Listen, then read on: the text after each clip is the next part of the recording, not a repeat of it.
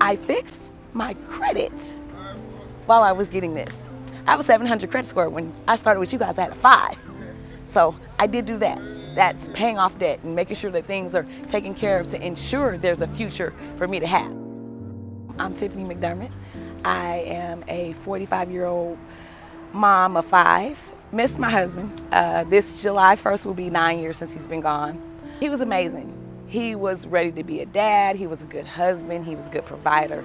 He was just, for him to be young, he, it's like he had an old people soul. But I didn't know he had um, issues mentally. Nobody decided to disclose that, nor did he. Not that I would have loved him any less, but um, that's why he's not here. His mental issues got the best of him, and he's missed every day, every single day.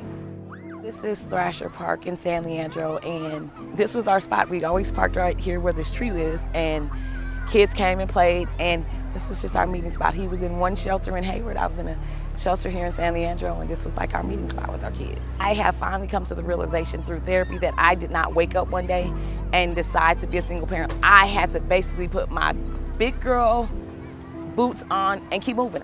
These are my kids, so that's me working, that is me getting kids up, that is making sure that their mental health is good, that is making sure that they have all the opportunities that are afforded to them, education and outside of education. I just, I, I don't want them to think our circumstances is the end all be all. A lot of memories, Park, a lot of memories, good memories. My kids have all grown up at this park.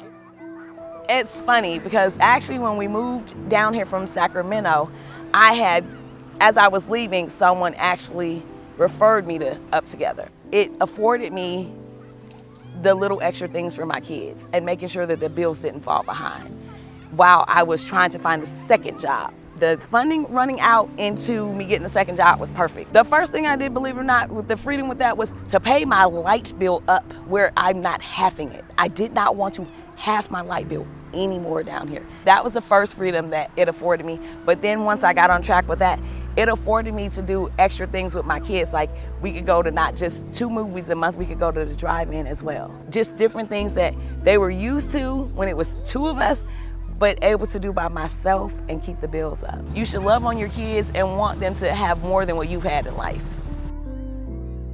So right now I'm looking forward to um, investing in an RV so me and my family can travel if we want to travel for the summers. And I'm also looking forward to first time home buyers program.